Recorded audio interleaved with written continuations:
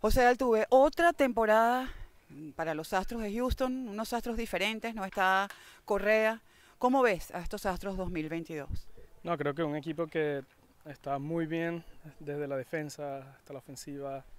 Tenemos muy buen picheo. Todos sabemos que Verlander tiene dos años que no pichan y ahora este año con el favor de Dios va, va a ser el, el número uno de nosotros. Sabemos que se va a Correa, lo vamos a extrañar, pero también llega Jeremy Peña, que es un muchacho muy talentoso que para mí va a aportar muchas cosas positivas al equipo. Te quería preguntar por Peña, porque va a ser tu compañero, tu llave en el, en, alrededor de la segunda base. Eh, ¿Qué has podido ver de él y, y cuáles son las expectativas con, con, Jeremy? Sabes, como te dije, tiene mucho talento, pero también tiene muchas ganas de aprender. Eh, se la pasa preguntando cualquier tipo de cosas durante el juego, antes del juego, en la práctica. Y creo que esa actitud lo va a llevar a ser, junto con su talento, una, una superestrella. Eh, no tengo duda que va a tener una buena temporada y que va a ser un astro por mucho tiempo. ¿Cómo fue tu trabajo de preparación durante el receso invernal que se demoró un poco por el, por el paro patronal?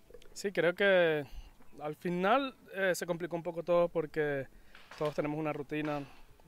Generalmente tenemos el día en que tenemos que volver a sprint training y te planificas en base a eso. Este año se alargó dos tres semanas más eh, y en ese momento no sabía qué hacer, pero gracias a Dios se resolvió todo. Pudimos llegar a sprint training. Me siento en una condición física muy buena y creo que eh, no solo a mí, sino a todo el equipo nos espera una temporada muy positiva. José, eh, hablabas en estos días sobre jugar en Venezuela en algún momento, que estaba también el tema de Salvador, que dijo que, que iba a jugar con las Águilas del Zulia. ¿Es algo que consideras mediano o largo plazo? Este, creo que este sería el año para que, para que todos jugáramos, ya que el clásico es en el 2023.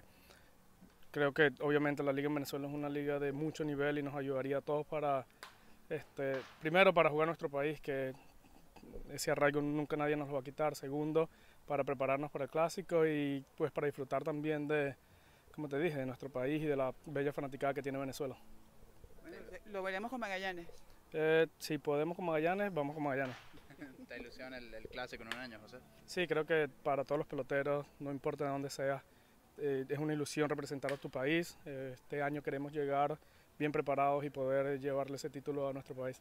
Hablaste del, del, buen picheo de los Astros y bueno, quisiera que me comentaras del crecimiento de Luis García como lanzador. El año pasado sorprendió, ya este año vienes a confirmar lo que vimos. Sí, es un muchacho también, al igual que Peña, con mucho talento, muy humilde, quiere seguir trabajando.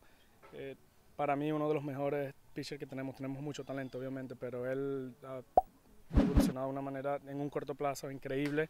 Es uno de los, de los pitchers con que estamos contando para este año. Fue una de las figuras claves el año pasado para llegar a la, mundial, a la Serie Mundial y eh, va a ser pieza fundamental para este año también. ¿Algo que quieras decirle a los fanáticos venezolanos del extra base? Sí, que gracias por todo su apoyo. Siempre recibimos sus mensajes y al final del día nosotros jugamos por la fanaticada, tanto como la de Houston como venezolana, y nada más agradecerle.